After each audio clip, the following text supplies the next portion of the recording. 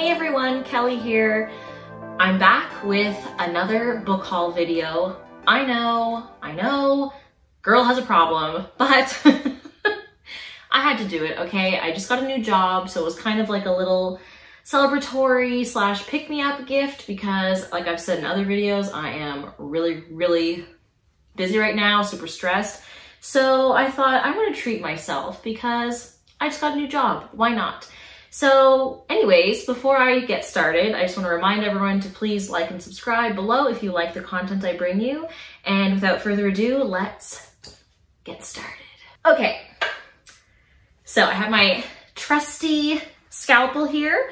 I have yet another book outlet order. I'm just covering the shipping label so you don't know where I live because yeah. All right, let's get started.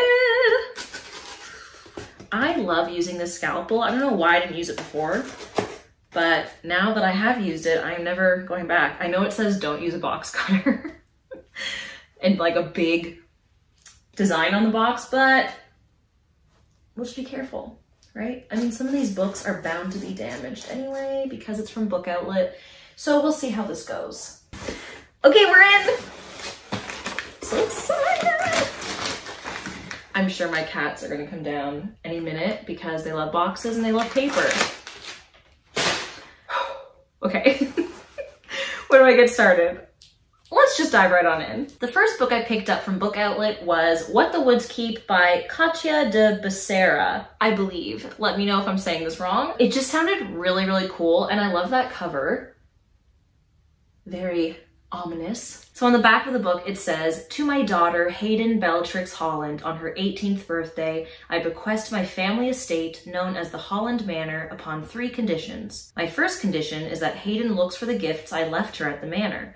My second condition is that Hayden uses my gifts to destroy my darkest secret. My third condition is that Hayden trusts no one where my treasure is concerned, especially the ravens. I have never heard of this author. I've never heard of this book. But again, this is kind of why I like Book Outlet because it helps me find books that I'm not seeing all the time on Goodreads or from friends of mine. Um, not that I don't enjoy Goodreads because I do, and it is dangerous for my wallet and my sanity. But um, I, yeah, I just, I like finding new finds that I wouldn't have found otherwise. Wow, Kelly, words. Um, look at this beautiful spine there. Am I doing it right with the mirroring? I'll find out when I look at this video for editing. But it looks kind of like Blair Witch Project symbols here. I wonder, I think they're like rune symbols. Um, but yeah, so this is like a YA horror thriller. And it's about this girl, Hayden, who inherits her childhood home when she's 18 from her mother but she has to uncover its dark secrets. So that's really all I know about it. Like I said, I've never heard of this book. I just was intrigued by the cover and by the synopsis when I found it on Book Outlet. And I'm excited to give it a go. I've been, I don't know, I've been reading a lot of romances lately because I'm so stressed and I just need to like get through, get through something happy, light, you know, get away for a second. Um, but I also really want to read more thrillers and horror books to an extent because I am a chicken. But uh, yeah, I think as soon as I'm done being super busy, I'm gonna like just fully dive into a lot of my thrillers. So this is the debut novel for this author and it says she combines mystery, science fiction, and dark fantasy in a twisty story that will keep you mesmerized right up to the final page. I can't wait. So if you have read this or you've heard of it, let me know what you thought because I'm really interested. I hope this doesn't let me down. This next book I have, it's been on my TBR for a while now and I've heard some really, really great things about it. And that would be The Downstairs Girl by Stacey Lee. This has been getting a lot of praise, even just looking at the back. I mean, first of all, look at this beautiful cover. Like, wow, just stunning. And even the back, I love the design of the leaves and the flowers, kind of like an old wallpaper. Um, but the praise in the back, we have things like a gorgeous tale that will steal your heart. This is not only a keeper, but a classic. And that's from Robin LaFevers, bestselling author of the His Fair Assassin trilogy. I don't know that trilogy.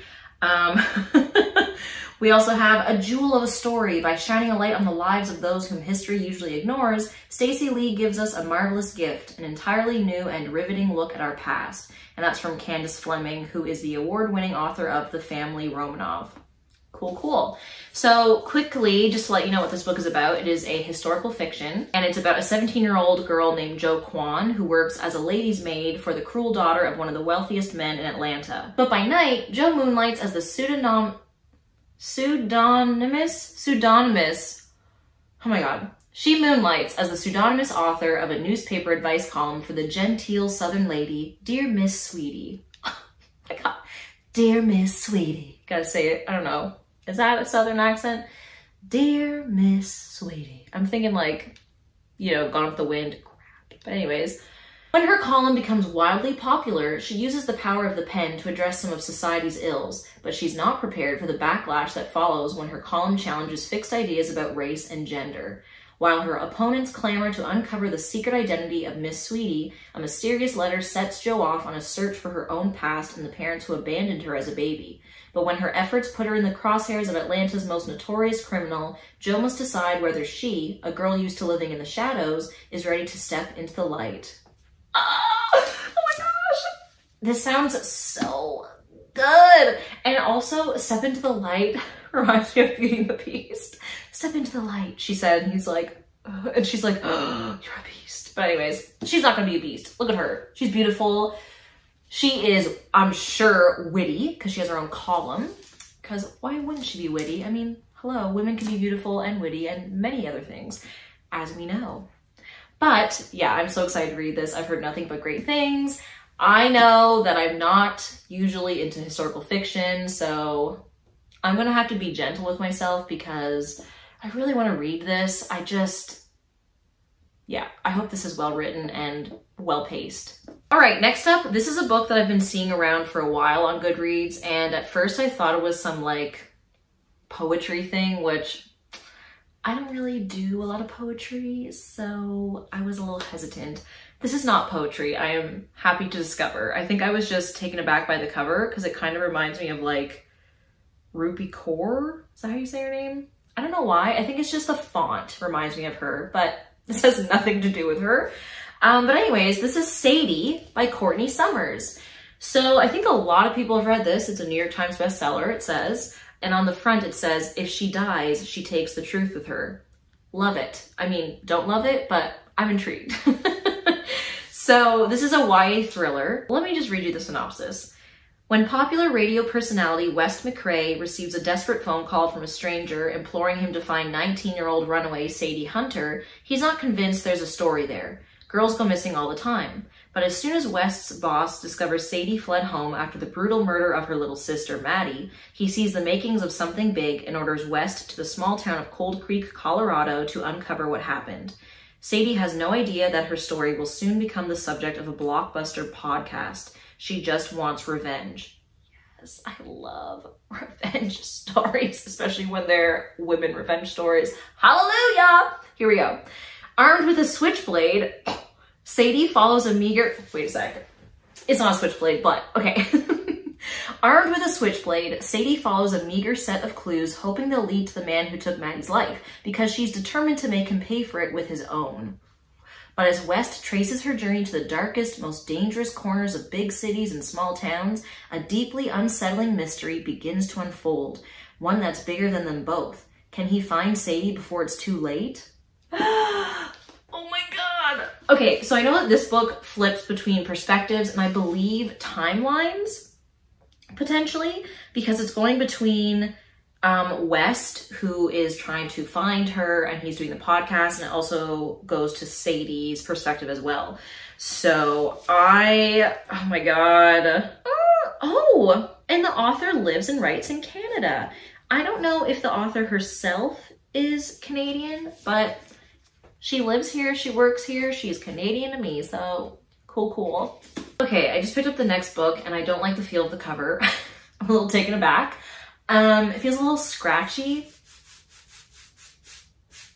How's that for ASMR? Can you hear that? I don't know. I'm not into the feel. But anyways, um, This is from another author who I don't really know about. I believe I have one of her books on my TBR before I found this book, but I have not read anything by her. So this book is You Must Not Miss by Katrina Leno. Here's the cover. Kind of cool. She's being attacked by birds, which uh, I believe they're magpies. Probably because everything on the back is talking about magpies. So why would they not be magpies? Anyways, the tagline here is, if you give a name to an impossible thing, does that make the impossible thing any less impossible? It's like a riddle. Also, impossible, impossible.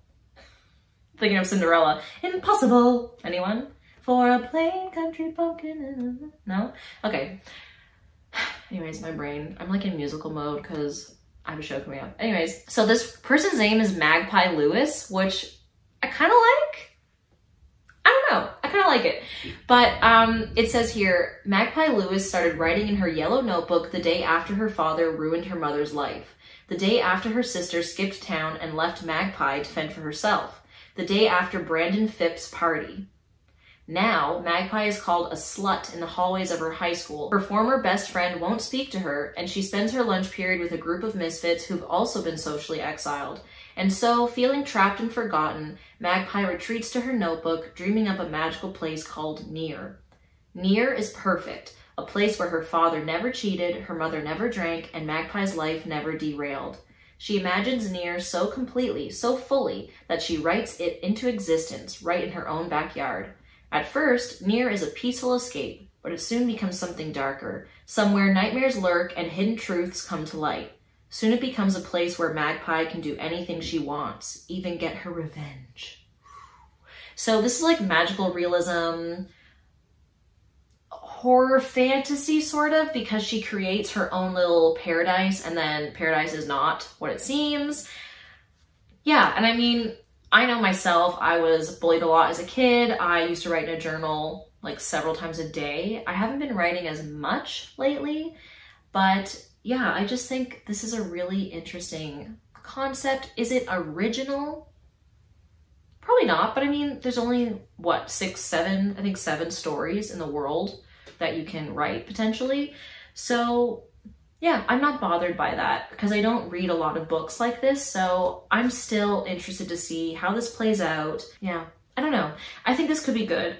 Um, this author also wrote the book Horrid, which here's the cover on the back. This book was on my TBR. I have not read it. I don't remember what it's about really, but I loved the cover of that one. This is kind of in the same style, the cover. Yeah, we'll see. I don't read a lot of uh, magical realism, but I think this could be good. So yeah. Now for something totally different. So I, I've been in the mood lately to read graphic novels or comics, but um, I found this one on Book Outlet and I wanted to buy it in a previous order and I didn't because some reviews were a little iffy for me. But then I found it again and it was only like $2. So I thought, why not? Because I was still interested in the premise of the story. So maybe I will like it. Maybe the people whose reviews I read just didn't like it and I will disagree. So we'll see. But this book is Piper and it is by Jay Asher and Jessica Freeburg and illustrated by Jeff Stokely. So here's the picture. I really like the style of this illustration. I haven't flipped through the book. I, I mean, I just opened the box. So, I mean, how could I have seen anything? but, oh, okay. Cute, cute. It looks a little young, but actually I think it is for kids, so that's okay. Not bothered. Um, so the back of the book says, what if the boy of your dreams becomes your worst nightmare? Wow, can we not relate, ladies? and men, like, hello. But anyways,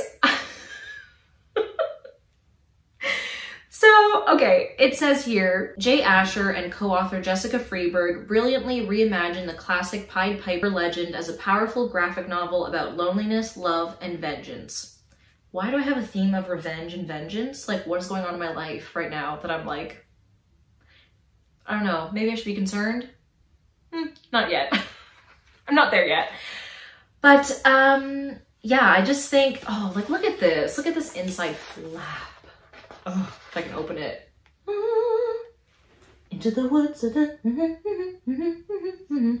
Anyways, I don't know the words. I'm like going crazy. But it just, it looks really interesting. It was $2, so you can't beat $2. I will give it a read. I hope I like it. I believe this is a standalone. I don't think there's another one. I mean, it's about Pied Piper. So yeah, you could make it a series if you wanted. You could just take the basic story and run with it, but I don't think they did. I think this is just a one-off. But yeah, I'll let you know how I how it goes, if I like it or not, but I'm excited. I think it looks cute. Hopefully it's a little creepy at times and yeah, I'm excited. I love reimaginings, retellings. So yeah, and I love woods. I love the woods and like creepy wood stories. I'll just show you the whole spread there. You can see there's trees in the back there. I hope I like this. I will let you know if I don't or if I do. Okay, so here we go. This is a book outlet order. so far, the books were pretty, in pretty good shape. This one is a little bit not in best shape for my standards. I mean, it's not that bad, but I'm a little picky. So anyways, um, the book is Sawkill Girls by Claire Legrand or Legrand. I don't know if she's French or not. Um, but it's like just a little rough, like around all of the edges here.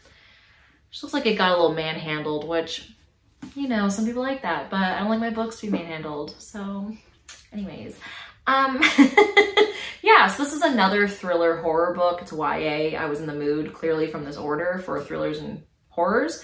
Um, and the tagline says, turn fear into power. Love it. All about that. So quickly, this is a story about three girls coming together.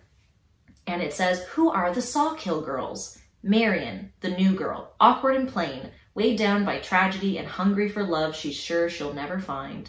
Zoe, the pariah, luckless and lonely, hurting but hiding it, aching with grief and dreaming of vanished girls. Val, the queen bee, gorgeous and privileged, a heart made of secrets and a mouth full of lies. Their stories come together on the island of Sawkill Rock, where gleaming horses graze in rolling pastures and cold waves crash against black cliffs, where kids whisper the legend of an insidious monster at parties and around campfires, where girls have been disappearing for decades, stolen away by a ravenous evil no one has dared to fight, until now. oh my gosh. Okay, this reminds me of Shea Ernshaw's The Wicked Deep because it also follows three women, sort of, because, okay, I did a video about Shea Ernshaw and her two books that are currently out. She has, I believe, three more coming out very, very soon this year. Um, but The Wicked Deep is about three sisters from the past who were drowned because they were believed to be witches. And every summer they come back on their birthday to kill people, to drown men in the ocean or the sea. And this is not the same, clearly, from what I just read, but it's the same kind of feeling of like, everyone knows about this suspicious, tragic event that always happens every year. It's centered around women, and yet they're kind of just victim to it. So I'm excited to see how this differs from The Wicked Deep because it does not sound that similar. It's just like giving me the vibe of it. But yeah, I love women with power. I love women getting revenge. I like women of different groups coming together to fight evil or whatever you want to call it. So yeah, I'm excited. Have you read this one? Anyone? I don't know. I feel like I've seen this author somewhere else, but maybe I'm wrong. So, okay, she also wrote Furyborn, which I don't have, but I think was on my TBR. I don't know. A little disappointed with the quality of the physical copy of my book, but you know, it's, you gamble. I don't remember how much I paid for this, but it really was not a lot, so it's still worth having. And yeah, I hope I like it. I'll let you know. no!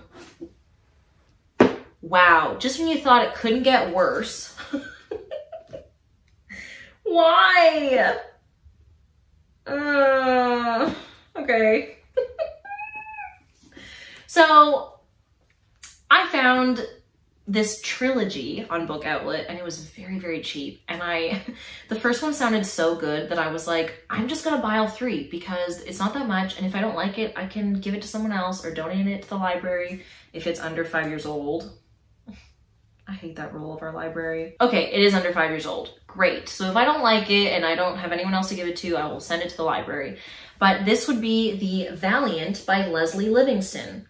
I have never heard of her or this series, but I saw it on Book Outlet and I was like, I need to have this because I feel like I will love it.